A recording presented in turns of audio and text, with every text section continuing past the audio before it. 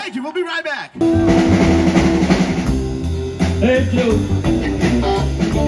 brother, where you going? You got that gun in your hand.